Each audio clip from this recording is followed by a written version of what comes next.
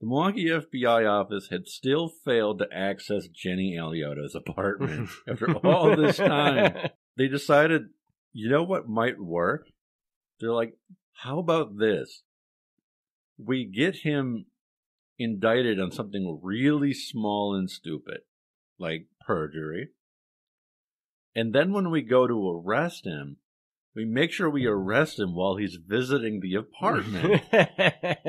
so then we can get in the apartment. then we can get in the apartment. yeah. So we'll knock on the door with the warrant and we'll arrest him. While the agents are arresting him, we can look around the room and maybe we'll see something. and if we see something, we can request a search warrant to come back and search the apartment. Okay. So that's their next plan. I mean, uh, it's not a. It might work, but it's like that's the best you can come up with, I guess. you know. No, it you know it's it's a pretty good it's a pretty good plan, um, but like that's they're not trying that hard. Yeah. Like th- they're really dragging this out, and um, like we'll see in in the future like other things that they do, and they go they do some. It gets shady. It gets really shady what they do. Like at first, they're going to end up renting the apartment across the hall, and just like kind of like looking through the peephole all day. like that's relatively minor, but like they're gonna keep stepping it up and, and crossing into the territory where um, they're blatantly breaking the law, Wow. trying to get into this apartment. is that is that it for it? Yeah, that's So- it for now. So like I said, like there's not really a great end because this is going to continue. Like spoiler, he ends up going to prison for tax problems, but that's not till 1971. yeah, so we got a long ways of this being dragged out, Yeah, which.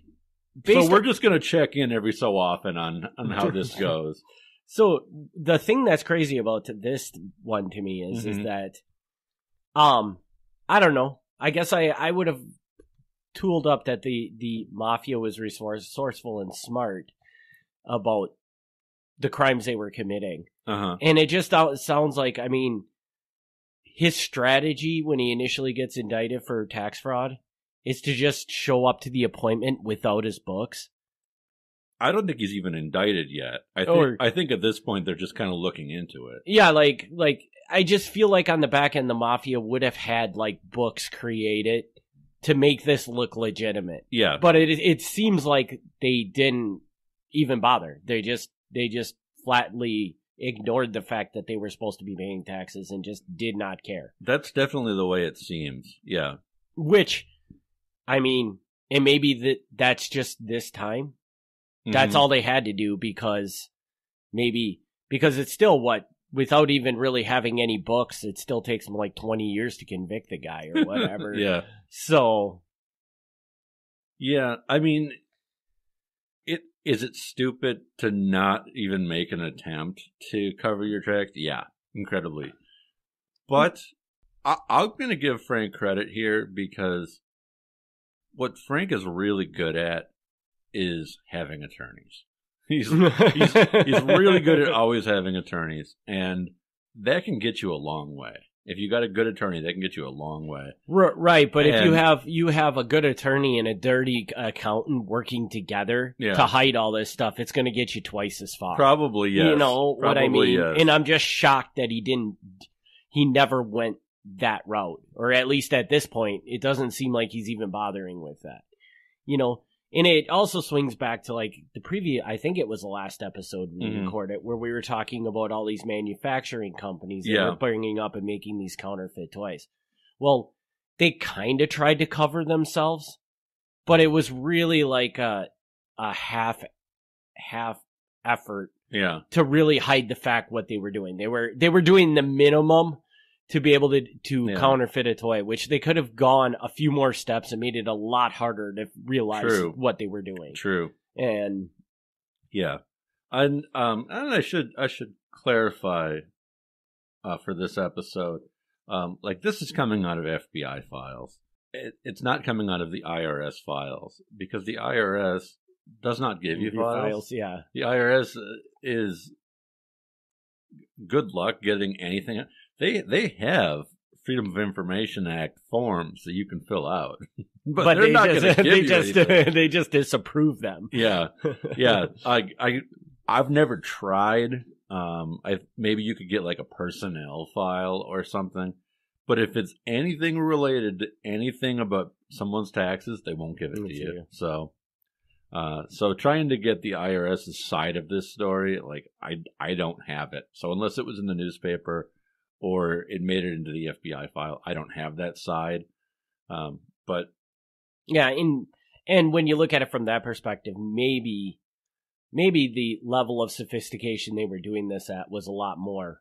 But the FBI just kind of glosses over that, where the IRS would understand more right, everything they were doing to cover up what they weren't doing that they should be doing to be legal, I guess. Right, because yeah, from the FBI's perspective, like what they want to do is is they want to nail him for something, Mhm. and they know that one way to do that is to get him busted for these tax issues, but they have no enforcement of that. The FBI doesn't really care about you know the accounting, like that's, Right, That's and not they their don't business. They don't understand it either, so they can't really understand how sophisticated it is. right so, prob- so to their extent it's like well how do we how do we catch him doing something shady and at that point they'd have to turn it over anyway Mhm. so like they're not like actively like show us your books like the I, the fbi doesn't care about that part Right. but but yeah it's it is weird but like i said i gotta give him some credit for the attorney thing like at first it sounds really dumb to show up like when they when you're summoned to the irs office and you show up and you have nothing like that seems really stupid but it might not actually be that stupid because They couldn't do it. They didn't know what to do Right. when you brought nothing. So right i mean like the irs is a scary thing you Mhm. know like as far as as far as law enforcement goes irs is one of the scarier ones i think but really like they're the same as anyone else like they have to prove that you did something wrong and if the books don't exist it's, then it's on them they Yeah. got they got to find the evidence so um it sounds really dumb but like that's not the worst yeah, I, I suppose. the, the I, less you turn over to them, the harder they have to work. I mean, it almost makes it sound like the worse your books are, the better you're off because it's harder to prove you did anything wrong, right? Yeah, yeah. So interesting. I mean, I'm not encouraging people. Yeah, to, yeah. Don't don't cook your books or, or not have books because of yeah. I mean, just do your taxes correctly. But, but seriously, like back in back in this time, like now, I, I it's, I assume that there's a major difference between the IRS in the '60s and today. Like today, the IRS knows what you owe. Like before you file, they know exactly what you owe. or they have a pretty good idea. Yeah. I mean, Yeah, but like in the '60s, I have no idea like what they knew or didn't know. And that, and these are all like restaurants and nightclubs, so it's like a largely cash business. yeah. So they're not getting the numbers. and you got to wonder like W twos. Did something like that even exist in the '60s? I I don't know. Uh, I I wouldn't be surprised if they didn't. I, You know. I, I would be, I would bet the W twos existed, but, but how good were they about you know automatically sending them in each year? Yeah. like I don't know. like they existed, but they maybe only received sixty percent of them and just didn't really Yeah. do anything about the other forty percent they never got Yeah. and stuff like that. I definitely, I mean, by no means do I know a whole lot about how taxes work, but, but yeah, so this is, is it dumb? It's super dumb. But at the same time, like, it's gonna work for a while. Yeah. well, it, that's the thing. Like to us, to uh, to me on the surface, it's like there's so much you more you could do, but I can't really take it away from him because he dragged it out for 10, 20 years. Yeah. This case before he ever gotten in any trouble for it. Yeah. So yeah, and, and he almost majorly wins on a technicality, but I'm not even gonna mention what that technicality is because that's gonna be a whole thing in itself. So that's coming. That's coming in that's, that's coming and it's huge. It's it's like the most major legal violation that the FBI IRS were doing. Um, it's they should have gotten a lot more The trouble. All right. So I guess we can wrap this episode up. Just know this is kind of the first part of a many part, Yeah, but but it's not. We're not following this up right after, right after. No. We're just going to come back and revisit it at along the We'll check in timeline. periodically.